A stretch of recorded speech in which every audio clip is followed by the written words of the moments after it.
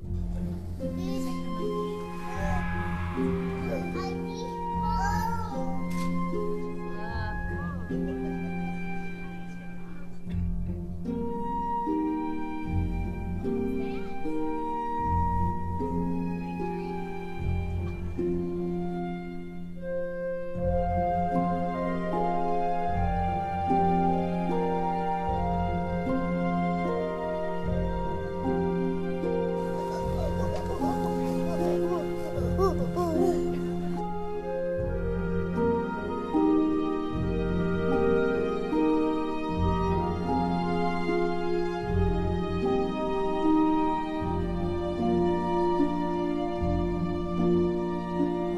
from things that have happened over the past few years that a few years of political turmoil, or even one year or a few months, can have a massive impact on populations of great apes. So the bonobo has gone from over 20,000 in the Congo to maybe less than 5,000 just over the past few years of the Civil War.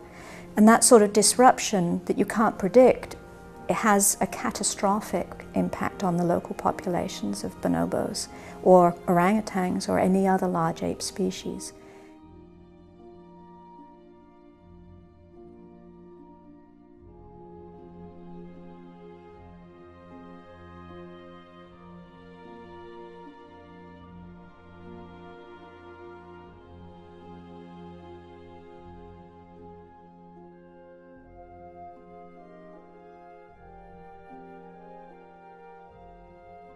The orangutan um, is the is in Asia is the only Asian great ape um, found in Sumatra and Borneo, and um, in particular, that species um, is under significant amount of threat. There is uh, probably a sequence that could play out that would make the first great ape extinction that we'll see in, in our lifetimes.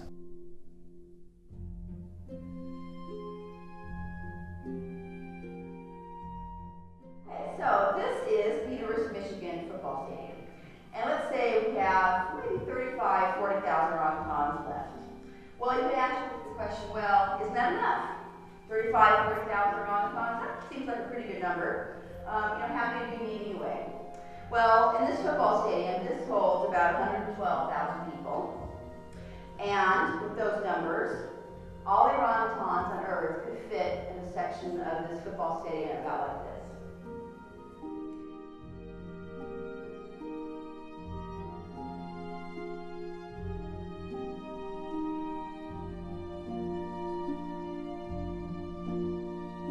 The bushmeat trade is basically an, of international scale um, where you have the extraction of forest meat, um, species such as um, forest duikers or small deer, pigs, um, other mammals, rodents, and also primates is probably the biggest threat um, and a growing threat almost equal to that of habitat loss.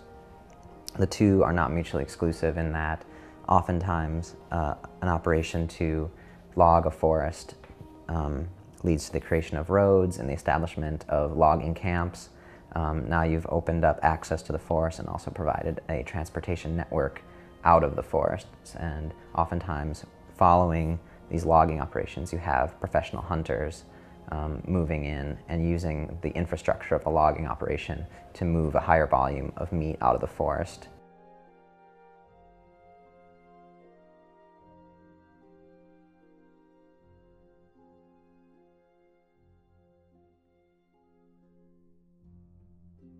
And apes, being very large, live in need basically large areas of forest to survive.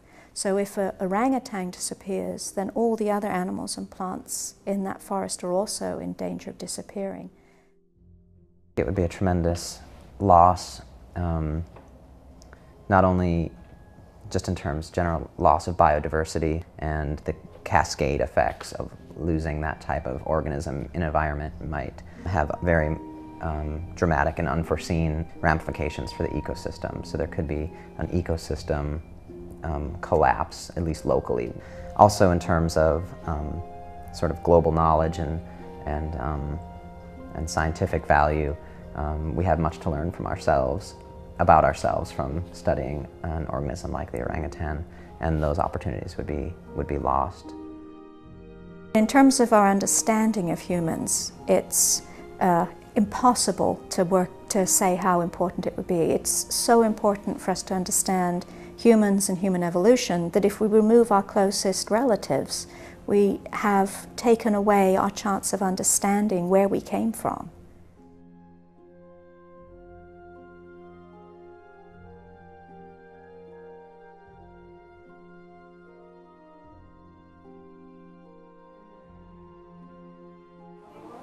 I think all of us who work in zoos would say that there's room for improvement.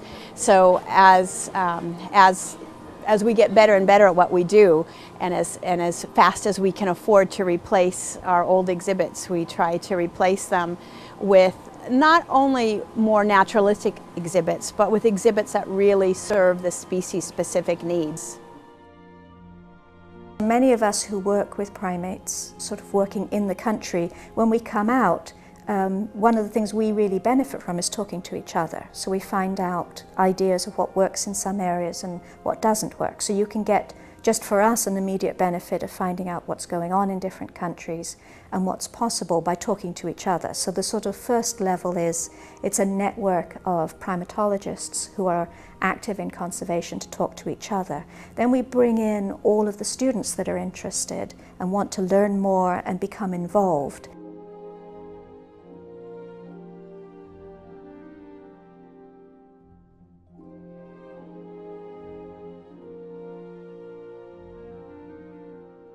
I founded the Northwest Primate Conservation Society in December of 2002 and each year we try to expand the program and build our agenda and our activities.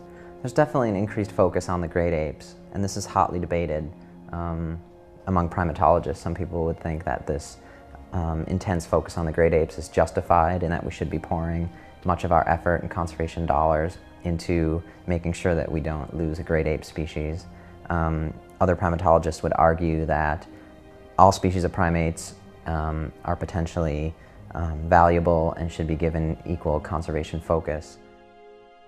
The Northwest Primate Conservation Society is a group of experts, of primatologists who are involved in field studies it goes from Northern California up to British Columbia, so it goes right the way across the Pacific Northwest. And it's a really good network of a way of exchanging information and uh, talking about the sorts of things that are going on and spreading news about what's happening, the good and the bad.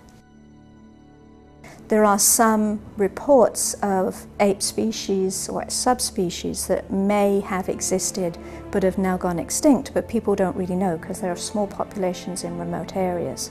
So we're still discovering species, so they could be going extinct before we even know.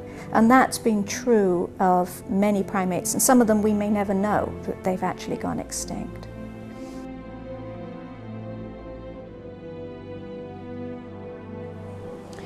It's really uh, a sad and kind of horrifying thing to think of that, that um, within my children's lives, uh, many of the ape species that I've sort of taken for granted uh, all of my life could be gone. And I think that the world would be a much poorer place for the loss of a single species and especially a primate species that's so so like us and can really we can still learn so much from these animals and learn so much about these animals. Minority of people living at a very high standard of living are causing a disproportionate amount of damage um, and using a higher amount of resources than the majority of people living at a lower consumption level. So changing the status quo, which is benefiting the few, relatively will be a, a very difficult challenge, but one that has to be undertaken.